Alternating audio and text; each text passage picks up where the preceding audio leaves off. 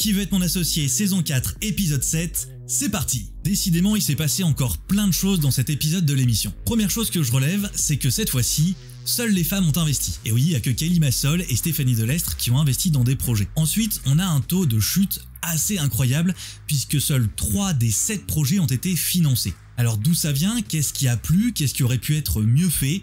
C'est ce qu'on va voir aujourd'hui dans cette nouvelle analyse. Pour rappel, dans cette vidéo, je vais faire l'analyse détaillée d'un pitch et ensuite on va revenir sur 2-3 leçons à retenir de chacun des autres pitchs. Pour aujourd'hui, j'ai décidé d'analyser le pitch de Neo Justice que j'ai trouvé excellent. On a plein de bonnes choses à retenir de son pitch et donc j'ai envie de partager ça avec vous. Et avant de continuer, je tiens à m'excuser, j'ai pas pu publier la vidéo de la semaine dernière. Croyez-moi, c'est pas une question de volonté. Je me suis levé à 4h du mat comme d'habitude, j'ai tout regardé, j'ai tout analysé, j'ai tout tourné. Et puis au moment de mettre ma carte SD dans l'ordinateur, elle a arrêté de fonctionner.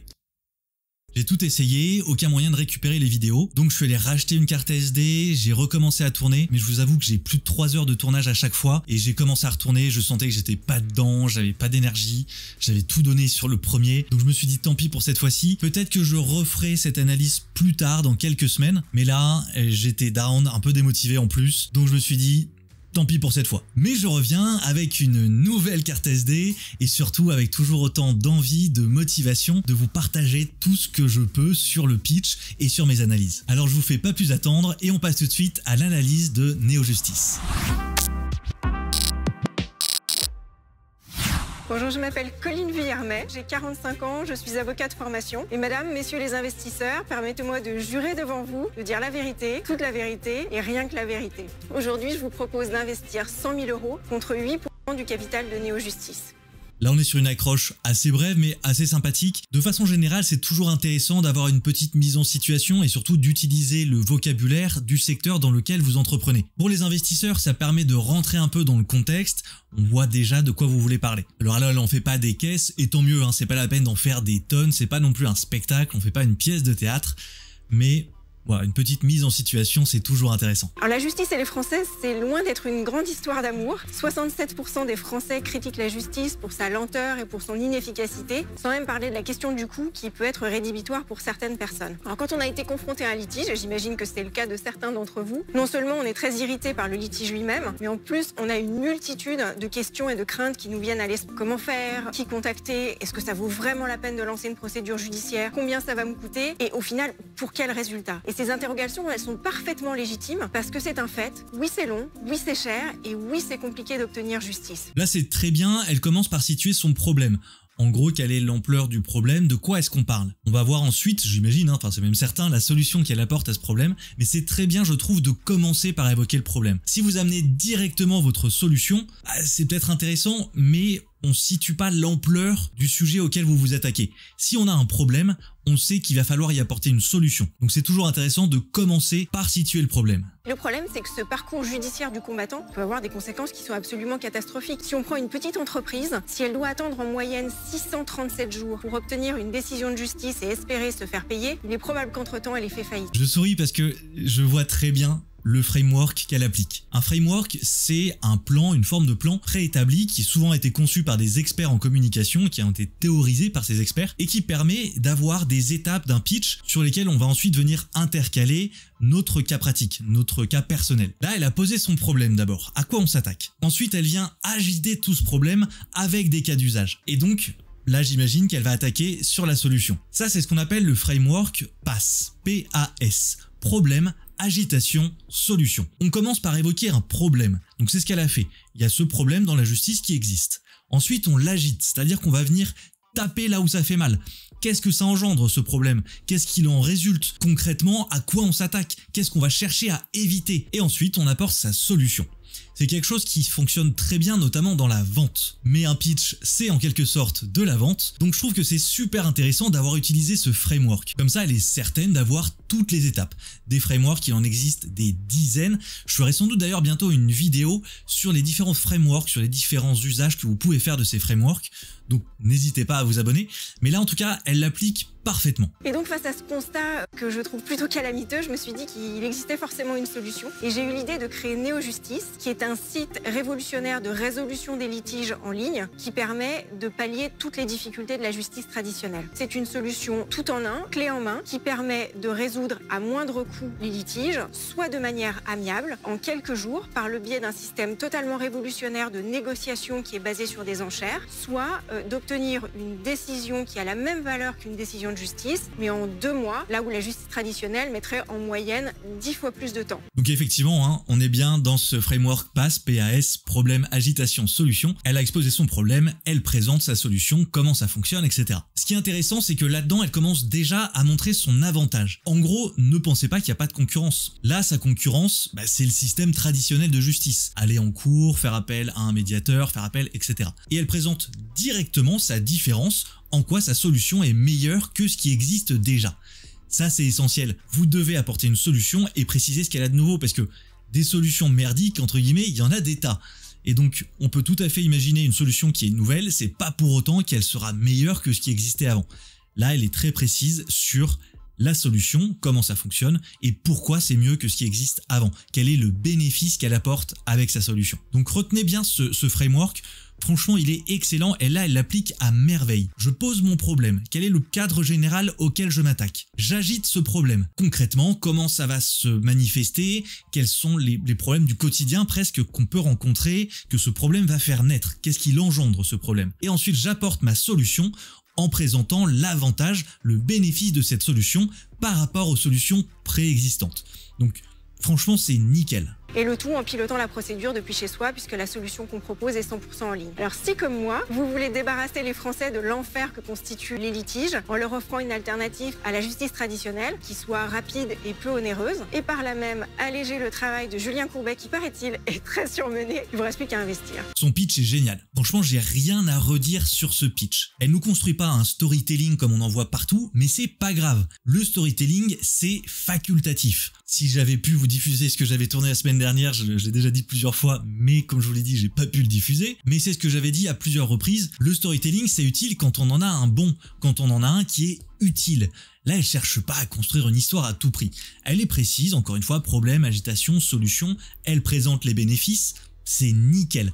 Et elle termine avec son appel à l'action, avec en plus une petite touche d'humour, mais ça permet aussi hein, de montrer la, portée du problème. Si Julien Courbet est aussi pris, c'est parce que il y a plein de choses qu'on n'arrive pas à résoudre via les circuits traditionnels de justice. Donc elle, elle vient se positionner sur ce terrain-là, des circuits non traditionnels, des circuits innovants. En plus de ça, sur la forme, j'ai rien à redire non plus, elle est très souriante, bon, il y a cette touche d'humour que je compte aussi dans la forme, euh, le pitch est assez dynamique, franchement c'est parfait. Franchement, j'ai rien à redire sur ce pitch. Et puis en plus de ça, c'est fluide. On passe d'une étape à une autre du pitch sans qu'il y ait un truc en silo où on a un passage brutal à une nouvelle idée, à une nouvelle étape. Là, ça passe tranquillement d'un sujet à un autre et on arrive comme ça jusqu'à cet appel à l'action qui est très bien amené. L'appel à l'action, c'est trop souvent négligé. Et pourtant, c'est essentiel. Vous devez faire un bon appel à l'action. Ce sont les derniers mots qu'on va entendre de vous. Et surtout, c'est là où vous allez engager l'action, comme son nom l'indique, mais où vous allez déclencher quelque chose chez vos interlocuteurs. En l'occurrence, bon c'est pour amener aux questions, mais ce qu'elle veut c'est déclencher un investissement, mais ça marche aussi sur d'autres types de pitch ou plutôt sur d'autres contextes qu'on soit sur de la vente, sur l'établissement de partenariats, etc. Ayez toujours un appel à l'action qui soit clair et qui soit bien amené. Première question, c'est comment vous arrivez à obtenir une décision de justice qui a le même poids qu'un juge? Exactement. Si je m'arrête là, c'est pour vous dire que si vous êtes dans des secteurs comme celui-ci, celui du droit en l'occurrence, me vient aussi celui de la santé, vous ne pouvez pas vous contenter d'un à peu près, vous devez être très précis, utiliser les bons termes. Là, elle parle de décision de justice, elle doit l'expliquer. Parce que c'est un arbitrage. C'est-à-dire que la décision d'arbitrage a le même poids qu'une décision de justice. Oui, exactement. Et concrètement, comment ça marche? J'ai un problème, euh, je fais quoi? Admettons que vous ayez un impayé de loyer pour 2500 euros. Parce que l'expulsion, ça, je ne peux pas m'en occuper. Ça fait partie de l'ordre public, il n'est pas question que ça transite sur la plateforme. C'est intéressant de préciser les cas où elle ne peut pas agir. Définir le cadre de votre action, dans certains contextes, c'est important. Et puis, ça rassure aussi les investisseurs. Vous n'êtes pas en train de dire que vous allez tout résoudre. N'essayez pas de vous faire passer pour le grand sauveur, euh, Superman avec sa cape qui va venir sauver la justice et tout révolutionner. Là, c'est pour la justice, mais c'est pareil pour d'autres contextes, d'autres secteurs. Soyez pertinent dans les limites que vous fixez à votre action. En revanche, vous avez un impayé de 2500 euros. Vous vous dites, on va essayer de trouver un accord. Donc vous allez sur la plateforme, l'autre partie est invitée, vous allez décrire votre litige, vous allez pré-négocier un protocole d'accord transactionnel. Donc on donne un modèle que les parties peuvent modifier autant qu'elles le souhaitent pour le travailler. Une fois que le protocole est en, en version signable pour les parties, on part sur la page de négociation. Et donc vous allez avoir trois tours de négociation. Le premier tour, vous allez dire, j'aimerais 2500, mais en offre secrète, vous allez mettre 2003. Puis vous testez Deuxième offre, vous allez peut-être faire une offre secrète à 1800, puis à la fin peut-être 1500. L'autre partie va faire la même chose, et à partir du moment où le rapprochement, Ça match. voilà, le protocole est immédiatement envoyé puisqu'il aura été automatiquement signé par les parties. Là, c'est très bien parce qu'elle simplifie le fonctionnement de sa plateforme. J'imagine que juridiquement, c'est un peu plus complexe que ça, mais quand vous êtes dans un pitch, vous n'êtes pas là pour donner des détails ultra techniques, en l'occurrence ultra juridiques, sur ce que vous faites. Ce qui est essentiel, c'est que les personnes auxquelles vous vous comprennent ce que vous faites et comprennent comment ça fonctionne globalement. J'évite de citer Steve Jobs à tout va, mais il y a un truc de lui que je retiens énormément et que je cite très souvent, c'est la présentation de l'iPod où il ne donne pas des tas de détails techniques sur on a une puce qui va faire telle taille, on fait appel à telle nouvelle technologie, etc. Non, il explique comment ça fonctionne, il explique surtout l'objectif, avoir, je crois que c'est 8000 chansons dans sa poche. Bah, c'est exactement ce qu'elle fait. Elle passe sur les détails. On n'a pas besoin de comprendre tous les détails techniques, où on va cliquer, comment ça fonctionne sur le plan juridique, sur tel machin, etc.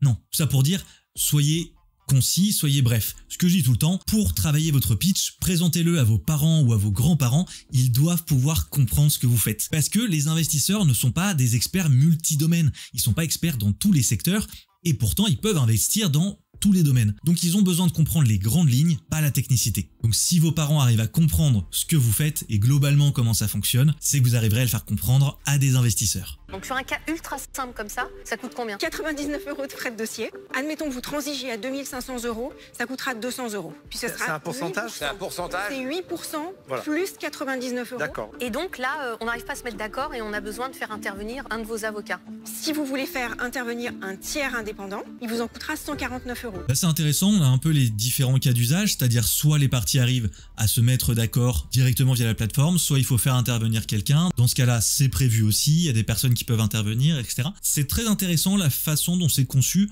On sent qu'elle a prévu plusieurs cas, plusieurs cas d'usage, le cas simple, le cas un peu plus complexe. Donc euh, c'est très bien amené. Et puis sur le pricing, sur la façon dont elle le vend, là aussi, moi ça me paraît assez juste. En gros, le micro-conflit, euh, les gens vont pas faire appel à ce genre de plateforme. Donc ce 99 euros de fixe, ça permet de mettre une forme de barrière à l'entrée. On va pas forcément ouvrir la plateforme pour un litige de 15 euros. Par contre, avec ce pourcentage en plus qu'elle prend, ça permet là de faire plus de chiffre d'affaires s'il y a des plus gros litiges qui sont résolus sur la plateforme. Donc tout ça me paraît assez malin. Je pense que c'est très bien pensé son produit. Toutes les procédures que l'on propose chez nos justices sont euh, surveillées par un comité scientifique et éthique qui est présidé par un professeur de droit agrégé qui est très connu, par un ancien président de la Chambre commerciale de la Cour de cassation et par une ancienne bâtonnière de l'Ordre des avocats de Paris. Donc on a des arbitres qui sont dans des domaines différents. Bah, la gros argument d'autorité, elle vient de nous citer trois personnalités. Alors c'est dommage, on n'a pas les noms. Peut-être que la prod euh, a demandé à ne pas les citer, j'en sais rien, mais euh, ça aurait été peut-être même mieux de les citer parce que potentiellement, si le nom évoque quelque chose aux investisseurs qui sont présents, ça va encore plus rajouter à l'effet d'autorité de cette annonce-là. L'argument d'autorité, c'est toujours une bonne chose. On l'a vu dernièrement dans l'émission avec le milieu sportif, là c'est dans le cadre juridique, et je pense que ça apporte même encore plus de poids que dans le milieu sportif, parce qu'on est dans un cadre ultra régulé, et la présence de ces grands acteurs du droit à ses côtés, ça montre un sérieux sur la plateforme. Donc vous aussi, si vous avez des acteurs de votre domaine qui sont réputés, qui ont une haute valeur, qui sont diplômés, qui ont été reconnus par leur père, mettez-le en avant. Ça va donner du poids et de la crédibilité à votre projet. Si en plus vous pouvez nommer ces personnes, faites-le. Le fait de nommer des personnes, alors ça peut faire un peu un effet name dropping, mais ça peut être super intéressant. Si certains des investisseurs connaissent ces personnes au moins de nom, bah elles vont tout de suite associer votre projet à ces personnes qu'elles connaissent. Et donc, elles vont là encore vous suivre beaucoup plus facilement. Ça rajoute du poids à cet argument d'autorité. Les six personnes, les six arbitres, vous les payez aujourd'hui J'ai que des coûts variables, donc ils sont payés au dossier. Et quel est le Ça c'est super intéressant parce que ce qui souvent peut mettre en difficulté une jeune entreprise, c'est les charges fixes et notamment les charges de personnel. Là, on va voir, alors, elle a, je crois qu'elle a pas encore dit, euh, je sais pas si elle va le dire d'ailleurs, le nombre de personnes qu'il y a dans son équipe en fixe, mais visiblement ces personnes qui travaillent sur les dossiers, c'est au dossier, donc ce ne sont que des charges variables. C'est pas ça qui va la mettre dans le mal. Donc ça aussi c'est ultra rassurant pour un investisseur. J'ai pas de charge variable. En gros, ça ne peut que augmenter. Je peux pas avoir un truc où bah, si j'ai un creux dans les affaires, bah, au pire j'aurai moins de CA, mais je vais pas creuser un déficit euh, de façon ultra rapide. Donc ça c'est un argument que vous pouvez mettre en avant. Quand vous faites votre dossier, quand vous allez présenter, essayez d'évaluer le montant des charges fixes que vous avez et le montant des charges variables. Parce que si vous avez un fort taux de charges variables, c'est super intéressant pour un investisseur parce que ça va le rassurer. Vous avez peu de chances de faire de la vente à perte. Profil, c'est des juristes. Exactement. Ce sont des magistrats honoraires, des avocats, des professeurs de droit. Mais ça s'adapte à tous les tailles de litige, parce que vous n'allez pas arbitrer l'arbre qui a poussé au-dessus du mur. Euh. Non, non, non, non, ça pourrait. C'est-à-dire vous allez mobiliser des arbitres sur des, oui, ça pourrait, bien conflits sûr. mineurs. Oui, bien sûr. On peut traiter un divorce avec ça? Non. Non? On pourrait traiter la pension alimentaire, mais on ne peut pas traiter le divorce. Là encore, elle pose bien le cadre de son action. Je peux pas gérer le divorce, je peux gérer la pension alimentaire. Ce sont donc des éléments assez différents, hein. mais c'est intéressant de, encore une fois, poser le cadre de son action. Où est-ce que je peux agir, où est-ce que je ne peux pas le faire? Si dans votre domaine, il y a aussi ce genre de questions qui peut se poser, pensez à bien le faire. C'est pas grave de ne pas pouvoir tout faire. Ce qu'il faut, c'est que vous soyez bon là où vous agissez. Donc là, elle le fait très bien. Et puis elle le pose aussi d'ailleurs en termes de taille. Cette histoire d'arbre qui pousse au-dessus du mur, ça illustre bien, alors c'est Marc Simoncini qui l'amène, mais ça montre bien qu'elle peut gérer toute taille de litige, du litige mineur jusqu'au plus haut litige. Peut-être pas des litiges à, qui vaudront des milliards d'euros, encore que sur le papier, elle devrait pouvoir le faire, mais ça pose bien le cadre de son action. On est d'accord que la première étape, c'est quand même que l'autre partie accepte de rentrer sur la plateforme. C'est dur de convaincre. Le pourcentage de gens qui acceptent effectivement de transiger lorsqu'on les invite donc euh, à le faire, c'est combien? Les personnes qui acceptent, c'est à peu près 50% aujourd'hui. Ah, 50%. Il y a un taux de rebond de 50%. Voilà. Alors il y a une façon de forcer un petit peu les gens. C'est un, faire connaître la solution et la vendre, mais c'est aussi inciter les cabinets d'avocats, les grandes directions juridiques ou les particuliers à insérer une clause. Pour vous expliquer ça, alors peut-être qu'elle va le faire d'ailleurs, mais je sais pas parce que je pense que les investisseurs voient très bien de quoi elle veut parler, mais quand vous établissez un contrat avec une personne, vous pouvez aussi établir dans ce contrat les modalités de résolution en cas de litige. Donc si elle encourage les gens dès la signature du contrat initial à inscrire cette clause, la question de passer par son service ne se posera même pas, c'est inscrit dans le contrat, ça n'est pas discutable. Et même si la personne veut aller devant un tribunal ou quoi, le tribunal exigera qu'il y ait d'abord un passage par sa plateforme. Donc ça lui garantit si elle arrive à trouver un grand nombre d'apporteurs d'affaires, et vu qu'elle vient du milieu juridique et qu'elle a visiblement des bons appuis sur son business, je pense qu'elle aura pas trop de mal à pénétrer ce milieu-là, et donc à réussir à établir ce genre de clause de façon beaucoup plus régulière. Et en plus, ce chiffre qu'elle donne avant de 50% de personnes qui acceptent de passer par sa plateforme, là aussi c'est super intéressant parce que ça montre que au-delà des apporteurs d'affaires,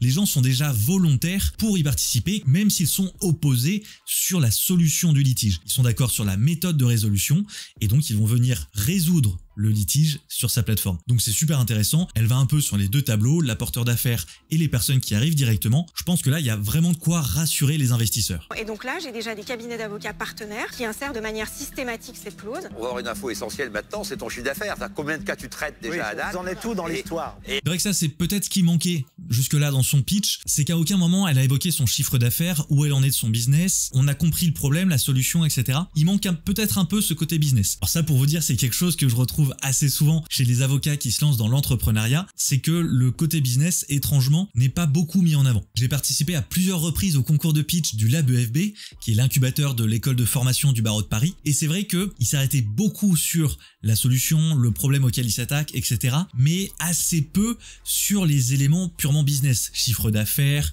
euh, potentiel d'avenir, etc. Donc si vous êtes dans le milieu juridique, mais c'est le cas dans tous les autres domaines aussi, pensez à évoquer les aspects business. Là, on a bien compris sa solution, on a bien compris l'intérêt, le problème, etc. Maintenant, il faut qu'elle dise combien elle gagne actuellement, combien elle espère gagner, et s'il y a des potentiels dans l'avenir qui vont être plus importants. C'est ce qui manquait un peu jusque-là. Effectivement, j'ai dit que son pitch était parfait. Je reviens un petit peu en arrière, elle aurait peut-être dû évoquer ça quand même. Mais notez-le bien, vous devez à un moment donné parler de chiffres financiers, où vous en êtes, combien ça rapporte, combien vous espérez que ça vous rapporte. Parce que, je le dis à chaque fois, les investisseurs, ils sont convaincus par le projet, mais ils ont besoin d'être convaincus aussi qu'ils vont gagner de l'argent. Ce ne sont pas des ONG, ils ne financent pas non plus des ONG, enfin ils peuvent le faire, mais c'est pas l'objet. Donc, il faut rassurer sur cet élément-là, il faut être concret et donner des éléments de preuve. Est-ce que ça marche? Le pognon. Alors, Il se réveille. T'as vu, Eric, il, est, euh, il a rouvert les yeux là. donc comme je vous le disais, je viens de commencer. C'est un produit qui est totalement nouveau. Donc j'ai pris le parti de mettre à disposition la plateforme gratuitement, de permettre aux, aux utilisateurs de voir s'ils voyaient, voilà, de tester. Ce qui était aussi pour moi très important, d'avoir quel était le retour, de pouvoir faire certains ajustements. Ça, alors là, on n'est vraiment pas sur du pitch. Là, je, je parle vraiment côté entrepreneurial, mais m'intéressant au pitch, je m'intéresse forcément aussi à l'aspect entrepreneurial. En gros, elle leur explique qu'elle a cherché ce qu'on appelle le product market fit, c'est-à-dire le produit et l'adéquation de ce produit au marché. Et donc pour ça, c'est une phase qui est très importante de recherche, de test. On va avoir des premiers utilisateurs qui vont tester le produit, qui vont nous faire des retours, qui vont nous permettre de l'améliorer et surtout de voir s'il est intéressant ou pas. Parce que ça ne sert à rien de développer le produit à fond si, in fine, le marché n'est pas prêt ou le marché n'est pas intéressé ou voire inexistant. Donc ça, c'est intéressant et je pense que c'est quelque chose qui peut rassurer les investisseurs. De votre côté, quand vous développez un produit et quand vous allez le pitcher, essayez de présenter un peu la façon dont vous avez développé ce produit. Est-ce que vous l'avez construit avec des utilisateurs? Est-ce qu'il a été testé? Comment est-ce que vous l'avez amélioré au fur et à mesure? Si vous montrez que les utilisateurs vous ont aidé à l'améliorer et donc que ce produit a été testé et approuvé, ça veut dire que vous avez trouvé ce product market fit et donc que votre produit est réellement prêt au lancement. Aujourd'hui, je n'ai pas de, de chiffre d'affaires. Néanmoins, j'ai des utilisateurs qui sont extrêmement convaincus. Donc, qui sont des utilisateurs qui vont devenir des clients Combien à peu près? euh, entre 200 et 300. Ah, quand même? Oui, Là, je, je suis un peu inquiet par ce qu'elle nous dit, parce qu'elle nous dit qu'elle n'a pas réellement de chiffre d'affaires pour le moment. Et elle est, euh, je revérifie, c'est ça, elle est à une valorisation de 1,2 million d'euros. Moi, ça me paraît un peu élevé quand on n'a pas encore réellement de chiffre d'affaires, même si le produit est génial, hein, et a priori, j'en doute pas, je pense que c'est super intéressant. Je me demande si la valo est pas un peu excessive. Maintenant, c'est pas moi qui investis, on va voir ce qu'en disent les investisseurs, mais normalement, en fait, on calcule la valorisation d'une société en priorité par rapport au chiffre d'affaires qu'elle effectue et à ses projections. Alors là, je pense qu'elle se base sur ses projections, mais ça reste délicat quand il n'y a pas encore de chiffre d'affaires. Ça, je suis pas expert là-dedans hein, sur la valorisation d'entreprise, pas moi qu'il faut faire appel là-dessus. Moi, une fois que vous l'avez, je vais vous aider à mettre en avant votre produit, à mettre en avant votre marché, votre entreprise et ce que vous avez envie de faire. Mais ça, c'est une étape qui vient après. La préparation du pitch, ça vient après, une fois qu'on a tous ces éléments-là. Donc voilà, à voir ce qu'en disent les investisseurs. Moi, je pense que c'est peut-être un peu excessif. Pas donner le, le- le case moyen, le panier moyen. alors le panier moyen, c'est autour de euh, 550-600 euros. Justement, là sur votre plateforme, ça aurait coûté 500 euros pour résoudre un litige. Si on était passé par les tribunaux et les machins, ça aurait coûté combien? Je pense que c'est de l'ordre de 3 à 5 fois plus parce que Petite erreur là encore. C'est dommage, j'étais là sur un pitch parfait, je suis déçu, je l'avais presque. Mais non, c'est du petit détail. Je pense que c'est ce qu'on appelle une subjectivation. Le je pense que, il veut dire que c'est un point de vue, c'est pas un fait. Et ça, c'est quelque chose qu'on va éviter.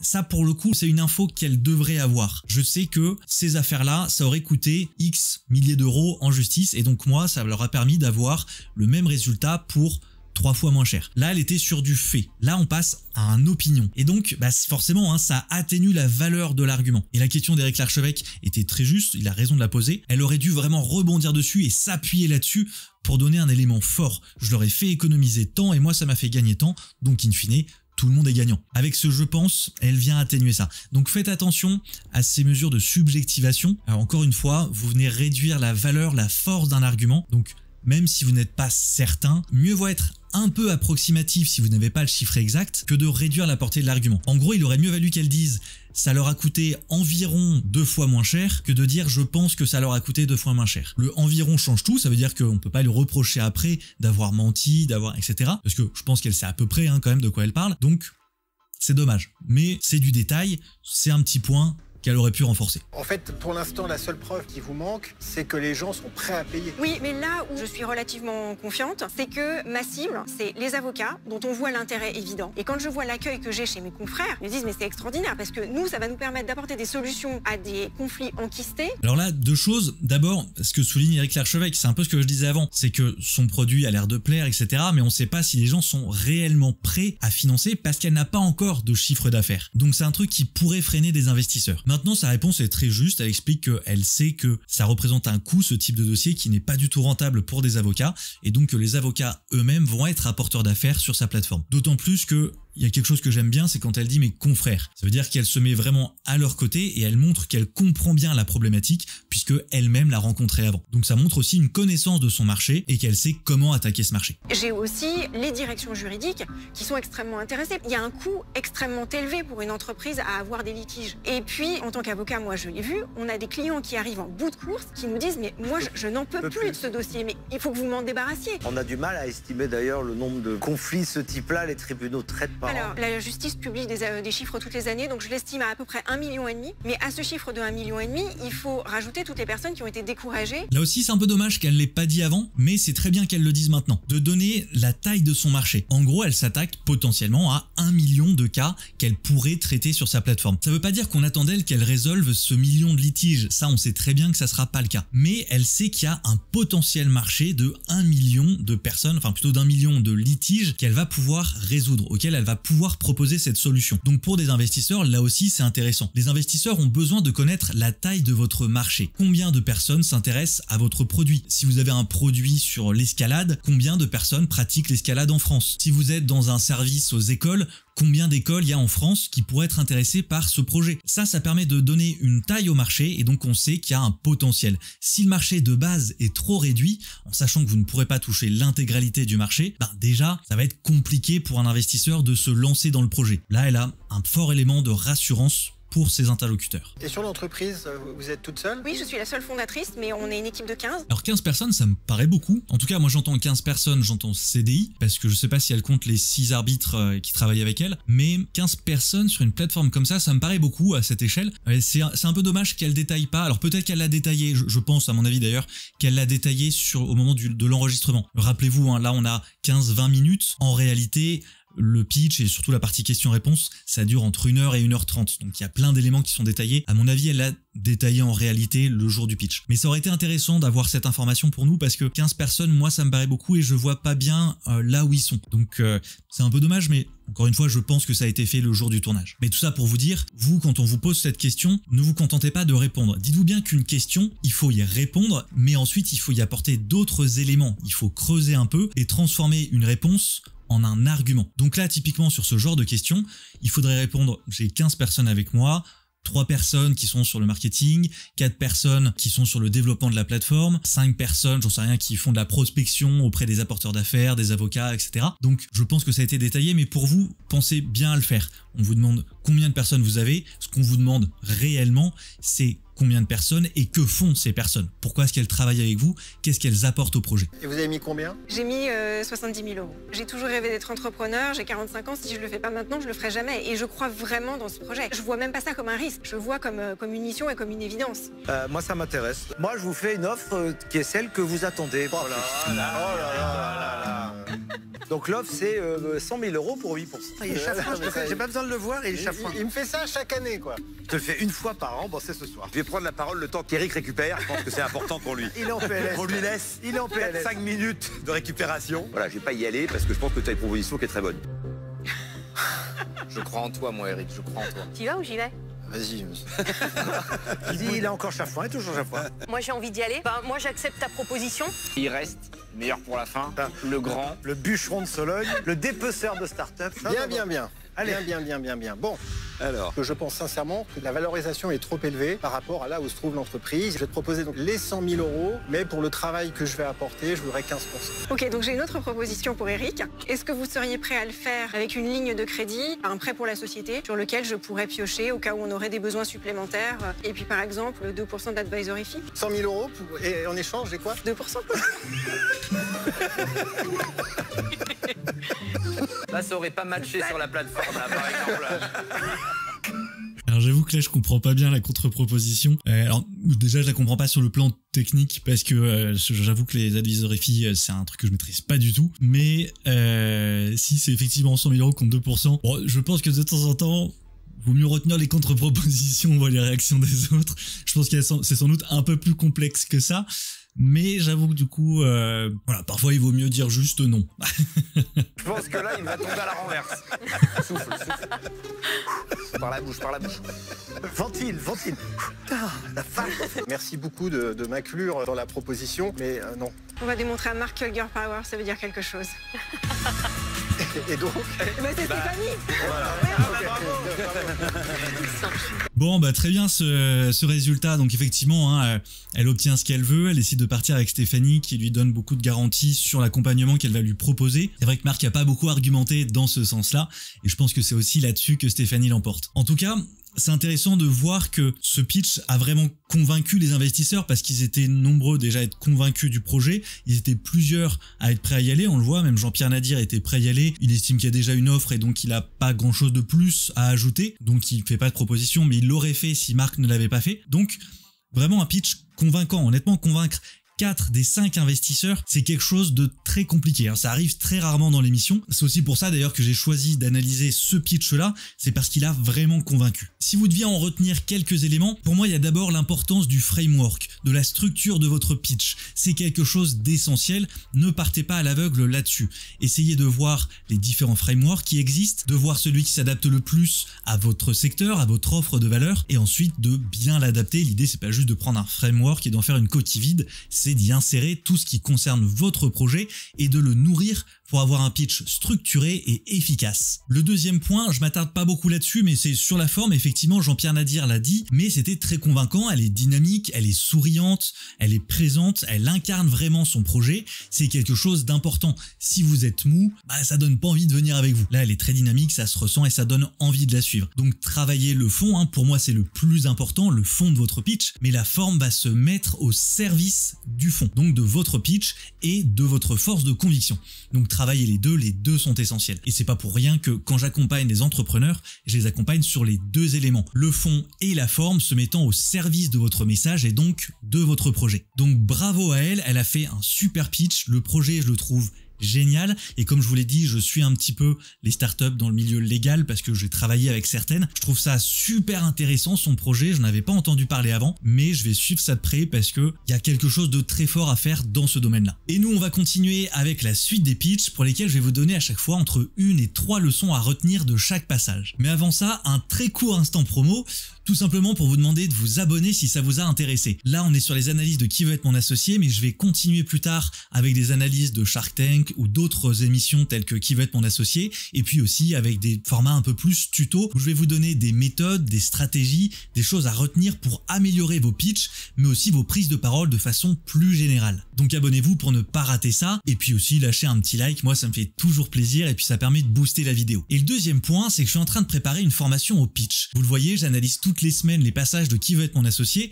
mais ça c'est un travail que je fais depuis plusieurs années dans des startups que je rencontre dans des incubateurs ou des accélérateurs, avec pour projet à chaque fois de les aider à faire le meilleur pitch, pour les aider dans leur croissance devant des investisseurs, des clients ou des potentiels partenaires. Et tout ce savoir-faire que j'ai accumulé, j'ai envie de le mettre à votre service et surtout de le démocratiser, de le rendre accessible à tout le monde. Donc ça sera une formation en ligne dans laquelle je vous guiderai pas à pas pour construire votre pitch et pour que vous ayez un pitch convaincant qui vous permettent de réaliser tous vos projets. Alors si ça vous intéresse, dites-moi en commentaire ce que vous attendriez d'une formation comme celle-ci, que ça soit sur le fond, sur la forme, et puis si vous avez des projets d'entrepreneuriat, dites-le moi aussi, comme ça moi ça me permettra dans la formation de m'appuyer sur des cas réels. Je le ferai de toute façon sur des cas que j'ai connus, sur des cas sur lesquels j'ai travaillé, mais je vais aussi de le faire en parlant de vos cas, de ce que vous vous rencontrez. Donc dites-moi tout ça dans les commentaires, dites-moi si ça vous intéresse, et dans tous les cas je vous en reparlerai très bientôt dans mes prochaines vidéos. C'est fini pour l'instant promo, et on enchaîne avec la suite. Donc vous l'aurez compris, dans cette partie on va passer beaucoup plus rapidement sur les différents projets. L'idée c'est d'en retenir à chaque fois une ou deux leçons. Le premier projet, c'est celui de Cyril avec Super Jetcar. Dans ce pitch, il y a deux choses qui m'ont marqué. La première, c'est cette intro. Avant de vous présenter mon activité, je vous propose de trinquer. C'est toujours pas ce qu'il y a dedans. Elle a un petit goût, non? Léger. Ouais. C'est l'or cyclé de mon lavage automobile. On est directement dans quelque chose de très marquant. Il y a une forme d'intrigue, presque de mise en danger, où les investisseurs savent pas trop ce qu'ils doivent faire avec ce verre d'eau, ils sentent qu'il y a un petit truc qui colle pas, et puis derrière, lui va leur montrer qu'on peut le boire, et puis il leur montre ensuite tout ce qu'il a enlevé de cette eau avant de leur faire boire. Là on est vraiment dans le fait de faire vivre une expérience à nos interlocuteurs. C'est quelque chose qui est très fort parce que ça les rend acteurs de notre discours, ils vont prendre part eux-mêmes à notre présentation et ils vont se laisser convaincre par les faits. Alors c'est quelque chose qu'on peut pas tout le temps faire, déjà parce que ça s'applique pas à toutes les offres, à tous les services, mais aussi parce que parfois le contexte s'y prête pas vraiment. Là en l'occurrence à la télé c'est parfait, et on peut aussi le faire parfois dans des pitchs plus classiques, j'ai déjà vu faire, quand c'est bien amené c'est très efficace. Il y a un côté mise en scène qui nous fait tout de suite rentrer dans le pitch, dans le discours. Et ça c'est quelque chose de très important, le début du pitch c'est quelque chose que vous devez vraiment soigner, et je vais le redire plusieurs fois, mais j'ai trouvé que les accroches dans cet épisode étaient pour la plupart excellentes. On a eu beaucoup de très bonnes accroches, donc je vais y revenir par la suite. Le deuxième point, c'est qu'il y a un très bon équilibre dans son pitch. Un bon équilibre entre le pathos et le logos, c'est-à-dire entre les émotions qu'on essaye de transmettre et l'appel à la raison. Alors vous êtes peut-être un peu étonné quand je vous parle de pathos, parce que c'est pas un discours larmoyant, on n'a pas tout un truc comme ça. Là où je parle de pathos, c'est parce que je trouve qu'il fait vivre malgré tout une émotion aux personnes à qui il s'adresse, que ce soit là les investisseurs ou ses clients. Avec cette idée de transformer ce moment un peu relou où on nettoie sa voiture en un moment sympathique avec de la musique, etc. Donc là-dessus, je trouve que c'est assez fort. Mais il insiste pas non plus des tonnes là-dessus. Il va beaucoup insister sur les chiffres. Il donne beaucoup d'éléments factuels, de la donnée, de l'expérience, etc. Et c'est ce qui est pour moi le plus important dans un pitch. L'émotion, elle est importante. Et d'ailleurs, elle est très présente au début de son pitch, avec l'expérience que je décrivais avant. Mais ensuite, c'est réellement la raison, le rationnel qui va convaincre des investisseurs. Donc, très très bon équilibre, pensez toujours à ça. N'avoir que des chiffres, ça n'est pas suffisant, il faut que les investisseurs vivent quelque chose, qu'ils vivent un espoir, qu'ils aient une espérance, qu'ils passent un bon moment, et à l'inverse, on ne veut pas non plus avoir que de l'émotion. Un investisseur, il a besoin de rationnel, pas parce qu'il passe un bon moment qu'il va mettre des centaines de milliers d'euros dans votre projet. Donc travaillez toujours cet aspect-là, cet équilibre entre le rationnel et l'émotionnel. Et nous, on passe au pitch de Start Grill. Alors là, autant les deux premiers pitchs étaient très bons, j'ai même d'ailleurs beaucoup hésité à analyser dans le détail celui de Superjet Car, autant celui-ci me paraît beaucoup moins construit, beaucoup moins travaillé. Le premier point, c'est qu'il y a un manque de clarté et de précision sur les chiffres, sur la façon dont ils fonctionnent, dont ils abordent leur marché. Je trouve que ça manque de clarté. Et ça, c'est un gros manquement. Vous devez être clair, vous devez être précis sur toutes vos données et surtout sur les réponses aux questions. Là, il y a plusieurs moments où c'est un peu hésitant, on n'a pas le chiffre précis, on a des approximations. Soyez net, soyez clair sur tout ce que vous dites. Et le deuxième point, il n'est pas gênant dans le cadre dans lequel ils sont, mais il le sera si vous vous pitchez dans la vie réelle, entre guillemets, c'est la tenue. Jean-Pierre Nadir le résume très bien. Et je vous sens pas aujourd'hui en capacité, en short et en tongs. Avant de nous entendre, on va nous voir. Et donc la première idée qu'on va se faire de nous et de notre projet, c'est la façon dont on se présente devant des investisseurs. Alors là, pour la télé, on est sur un côté un peu mise en scène et c'est normal, il n'y a pas de souci avec ça. Et donc pour le coup, cette tenue short, t-shirt, ça passe très bien, il n'y a aucun problème avec ça. Mais face à des investisseurs, faites toujours attention à votre tenue. Alors je vous dis pas de sortir le costume 3 pièces, c'est pas une nécessité. Mais le short, clairement, on va éviter. Les tongs, on va éviter. Tout ça, c'est pas du tout gage de sérieux, ça fait un peu trop de chill. On a le droit, bien sûr, de, présenter euh, sans mettre, euh, encore une fois, hein, sans être tiré à quatre épingles, mais faites attention à votre tenue. Choisissez toujours une tenue adaptée au contexte, aux personnes à qui vous allez vous adresser et qui permettent d'être gage de sérieux pour votre projet. J'ai pas grand chose de plus à dire sur ce pitch, donc on passe tout de suite à Soundduct. Ça, c'est un projet que j'ai beaucoup aimé. Ceux qui me suivent depuis longtemps le savent peut-être, mais c'est en partie la question de la surdité qui m'a amené à m'intéresser à la prise de parole. C'est cette question de l'échange, de la communication interpersonnelle. Quand j'étais au collège, j'ai lu un livre sur le sujet qui m'a marqué, et plus tard j'ai mis en place une option langue des signes dans mon lycée parce que je voulais vraiment travailler sur ce sujet-là. Alors j'ai eu que quelques mois d'enseignement, donc me demandez pas de devenir traducteur langue des signes, j'en suis incapable. Mais voilà, ce sujet m'intéresse beaucoup. Donc autant vous dire que ce pitch m'a vraiment passionné. D'abord, leur exorde est excellente présentent tout de suite leur proposition de valeur et ils donnent des chiffres. Ce qu'on vous propose, c'est de nous aider à faire entendre 430 millions de sourds et malentendants dans le monde. L'accroche en chiffres, c'est quelque chose qui marche toujours quand c'est bien fait. Pas la peine de donner des tonnes de chiffres, il suffit de donner un chiffre marquant. Là, en l'occurrence, on montre la portée du problème et donc ça montre aussi potentiellement l'importance du marché auquel il s'attaque. Donc, excellent point là-dessus. Un autre très bon point de leur pitch, c'est l'adaptation aux investisseurs, notamment quand ils disent ça. De Paris à Tokyo à San Antonio. Un pitch, ça n'est pas fait pour rester identique d'un contexte à un autre et surtout d'un interlocuteur à un autre. Vous devez toujours adapter votre pitch aux personnes à qui vous vous adressez. Pour ça, ça passe par une phase d'enquête entre guillemets, ou en tout cas de recherche sur les personnes que vous allez rencontrer. Là c'est tout simple, mais le fait de dire de Paris à San Antonio au lieu de parler de Paris à New York, ça montre qu'il s'intéresse à Tony Parker et à son parcours. Si vous avez moyen moyen de vous renseigner sur les interlocuteurs auxquels vous allez vous adresser, savoir ce qu'ils font dans la vie, ce qui leur plaît, leurs hobbies, leurs passions, savoir leurs problèmes de vie, ou même ne serait-ce que la vie qu'ils traversent. Si vous avez moyen de savoir les projets dans lesquels ils ont déjà investi, les projets dans lesquels ils ont déjà entrepris, essayez de parler à tout ça, d'adapter votre argumentaire, d'adapter vos phrases pour montrer que vous vous êtes intéressé à eux. C'est toujours flatteur et donc ça permet d'établir une connexion avec les personnes à qui on s'adresse et in fine de les convaincre plus facilement. Et nous on enchaîne avec Yakon Co. Là encore je vais m'arrêter sur l'accroche. Est-ce que vous savez ce que c'est que ça? Je trouve que le fait de poser une question au début, c'est quelque chose là aussi très intéressant pour impliquer l'auditoire. Il va se poser une question, il va potentiellement y répondre, et donc il va rentrer avec vous dans le pitch, et donc augmenter son attention. C'est très simple, donc je m'attarde pas plus là-dessus, mais si vous trouvez une bonne question à poser à vos interlocuteurs, c'est toujours une bonne chose. Alors juste, posez pas une question complètement bateau, là c'est intéressant. Le deuxième point que j'aime beaucoup chez eux, c'est la comparaison avec les autres solutions qui existent. Ça c'est la quantité infime de sucre simple qu'il y a dans le sirop.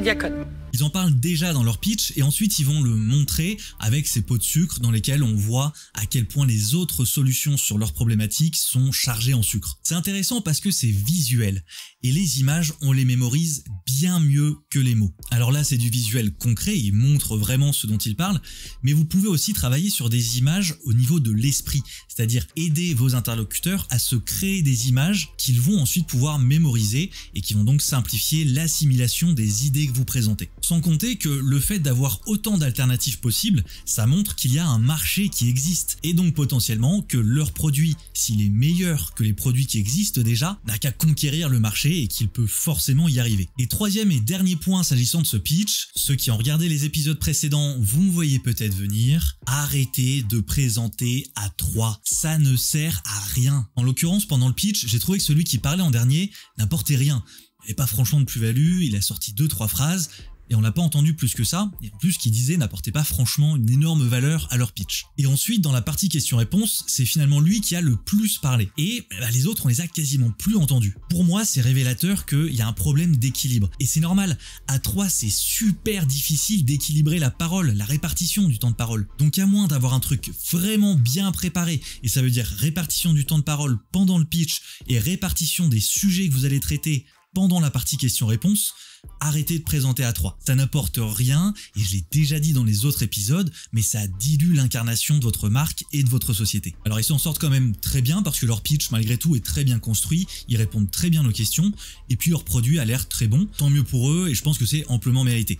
Mais malgré tout, attention à ça. Et nous on passe à Skin and Out. La première chose sur ce pitch, c'est que là cette fois-ci il y a du storytelling, mais qu'il est bien amené. Quand elles racontent leurs histoires, elles en font pas des caisses, et c'est même pas le cœur de leur pitch. C'est juste un élément qui explique pourquoi elles se sont lancées là-dedans, et qui finalement justifie leur lancement dans l'entrepreneuriat. Et c'est là que le storytelling devient intéressant. C'est quand ils racontent quelque chose qui est en lien direct avec votre projet, mais qui n'est pas le cœur de votre projet. Un projet, c'est pas juste une histoire. Donc je trouve que cette partie-là est très réussie dans leur pitch et qu'il faut vous en inspirer. Racontez-nous des histoires, c'est très intéressant, ça rajoute de la tension, ça rajoute de la connexion avec l'auditoire, et donc finalement ça rend votre pitch beaucoup plus vivant. Mais n'en faites pas des caisses, racontez ce que vous avez à raconter et passez à la suite votre projet, votre produit, votre service, où vous en êtes, les chiffres, etc. Donc très réussi là-dessus. Et le deuxième point, c'est un petit regret, c'est quelque chose qu'elles disent à un moment, mais qu'elles disent un peu tard. D'une année sur l'autre, quelle est la part de gens qui rachètent vos produits chaque année? 60%, 6 clients sur 10. Avec leurs produits, elles peuvent avoir un fort taux de répétition. Or la répétition pour un investisseur, c'est quelque chose qui a beaucoup de valeur. Ça veut dire que une fois que vous avez un client, il va rester. Donc ça réduit les coûts d'acquisition à la vente. Et là finalement, elles nous font comprendre qu'il y a un taux de répétition important, mais elles ne le précisent pas. Mais il faut que ce soit les investisseurs qui creusent, qui leur posent des questions pour qu'elles finissent par nous donner ce chiffre, alors qu'il est vachement intéressant. Donc là-dessus, ne comptez pas sur les questions des investisseurs pour donner les informations clés. Ça, c'est une information clé, ça aurait dû être présent dans leur pitch initial. Et si ça n'était pas présent dans le pitch initial, il aurait fallu qu'elles le donnent dès le début des questions sur ce sujet, parce que c'est un très très bon chiffre, il faut tabler dessus, il faut s'appuyer sur tout ce que vous avez comme force, et ça c'est une grande force, parce que en plus de cette question financière du coût d'acquisition, ça montre aussi que votre produit fonctionne parce que les gens le réutilisent. Donc il y a un taux de satisfaction qui est fort, ça effectivement elle l'avait dit au début, mais c'est d'autant plus prouvé par ce chiffre-là. Alors n'oubliez pas, les chiffres clés, vos arguments les plus forts, vous les mettez dans le pitch. N'attendez pas les questions. Et nous on enchaîne avec notre dernier pitch, Maimouni. Sur ce pitch, il y a deux choses importantes selon moi, un point positif et un point un peu inutile. Je vais commencer sur le point négatif, comme ça on terminera cette analyse sur du positif. Ce dont je veux parler, c'est ce moment-là. Le moment où elle nous raconte son histoire en Syrie. Alors, je ne dis pas qu'il ne fallait pas en parler, je pense que c'est quelque chose qui a été fort pour elle et qui l'a construite et donc qui construit aussi sa façon d'entreprendre. Mais je trouve que ça en fait un peu trop pour quelque chose qui n'est pas en lien direct avec l'entreprise, avec le projet ou avec le produit. Et c'est là qu'on en vient avec le côté inverse du storytelling par rapport à ce que j'ai dit sur Skin and Out. Le storytelling, c'est intéressant, encore une fois, si c'est au service de votre projet. Là, je trouve qu'il y en a un peu trop. Je dis pas que son histoire est pas dure, je dis pas que son histoire n'est pas intéressante, me faites pas dire le contraire, mais c'est pas lié réellement, en tout cas directement à son projet, et donc je pense que ça prend un peu de temps de parole pour quelque chose qui ne vend pas directement le projet. Vous pouvez parler de choses qui vous sont arrivées et qui vous ont construites, des éléments forts, mais ça ne peut pas constituer un des arguments les plus forts de votre argumentaire. Votre argumentaire, c'est votre produit, le problème auquel vous vous attaquez, le marché, votre solution, etc. Ça n'est pas votre histoire personnelle. Et donc ça doit se ressentir dans la façon dont vous le mettez en avant dans votre pitch ou dans les questions-réponses. Et le dernier point que je trouve super intéressant, c'est ce moment-là. On commence. Ah. ah, là, ça, ah ouais, là, ça commence à bien faire mal. Le fait de faire vivre à un investisseur le problème qu'elle vient de résoudre, bah en fait, ça peut paraître idiot, mais c'est essentiel. Parce que là, elle est face à trois hommes et deux femmes. Pour les mecs, et j'en fais partie, on n'a aucune idée de ce que c'est que ce problème-là. Et donc il faut réussir à le faire percevoir. C'est là que cet outil est vachement intéressant. En faisant vivre à Tony Parker les douleurs des menstruations, elle lui fait prendre conscience du problème auquel elle s'attaque. Et donc, elle lui fait prendre conscience de l'importance de sa solution. Je trouve ça très malin. En plus, il y a un côté très ludique à la façon dont elle fait tester ça, parce que c'est vrai que nous, on connaît pas du tout ça, et ça doit être une expérience assez intéressante à tester. Donc ça crée de l'attraction sur son projet, et puis ça crée aussi de la connexion et de l'intérêt. Surtout, je veux vraiment insister là-dessus, c'est de faire prendre conscience du problème auquel on s'attaque. Là-dessus, comment vous pouvez vous l'utiliser? Si votre problème n'est pas conscientisé, si c'est un problème que les investisseurs ne connaissent pas, dont ils n'ont pas conscience, auquel ils ne sont pas exposés, vous devez trouver un moyen de leur faire comprendre ça. Là, en l'occurrence, c'est en le faisant vivre à la personne, mais ça peut se faire tout aussi bien par des mots. Donc, ayez toujours ça en tête vous devez faire comprendre aux personnes à qui vous vous adressez le problème que vous venez résoudre. Sans ça, ils vont pas comprendre le produit, ils vont pas comprendre la solution, parce qu'on peut pas comprendre une solution à un problème qu'on ne connaît pas. On en arrive à la fin de cette vidéo et je voudrais revenir sur un point qu'on a beaucoup vu dans cet épisode, c'est la question de l'accroche. L'accroche du pitch, c'est quelque chose qui est souvent négligé. On pense à ce qu'on va dire au milieu, on pense à nos chiffres, on pense à tout ça, alors que l'accroche, c'est essentiel. Si vous n'accrochez pas vos interlocuteurs dès le début, ils ne vont pas suivre le reste. Et donc, ben, tout le cœur de votre discours, tous les bons arguments que vous aurez construits, ils ne vont pas être entendus et donc vous ne pourrez pas convaincre. Donc l'accroche, ça se soigne à la C'est une des rares choses dont je dis qu'on peut les apprendre par cœur parce qu'il faut que ça soit percutant. Là on a eu beaucoup de formes d'accroche. Une intrigue, une question, un chiffre fort, il y a eu beaucoup de choses et c'est très intéressant. Regardez toujours les accroches des pitchs qui vous plaisent. Essayez de comprendre ce qui vous a plu dans ce pitch et surtout ce qui vous a accroché. Pourquoi est-ce que vous avez écouté ce pitch dès les premiers mots Et vous verrez qu'en général, c'est qu'il y a une accroche qui a bien fonctionné parce qu'elle a été bien travaillée. J'espère que cette vidéo vous a plu. Cette semaine, je suis allé un peu plus vite sur les analyses des pitchs restants parce que en fait ils étaient tous assez bons j'ai trouvé et il y avait moins de points saillants à remarquer. Mais dites-moi en commentaire ce que vous, vous en avez pensé.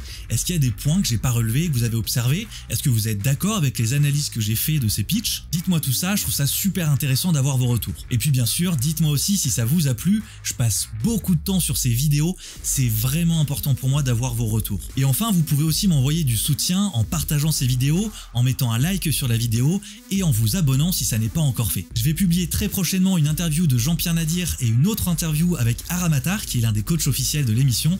Je suis certain que vous ne voulez pas rater ça. Et puis si vous voulez d'autres contenus sur le pitch en attendant le prochain épisode, vous pouvez me retrouver sur LinkedIn où je parle beaucoup de ce sujet des pitchs et de la prise de parole en général. Et on se retrouve la semaine prochaine pour le huitième et dernier épisode de cette saison de Qui veut être mon associé avec, j'en suis sûr, encore plein de pépites à commenter. C'était Jean Corentin, allez ciao